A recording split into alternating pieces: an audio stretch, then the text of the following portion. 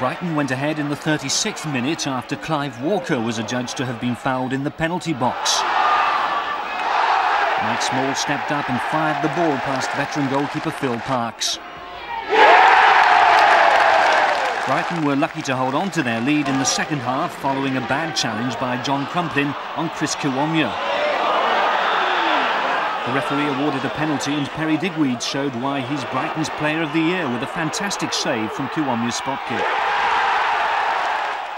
But Ipswich grabbed an equaliser seven minutes from the end. Digweed unable to stop Kiwomya this time.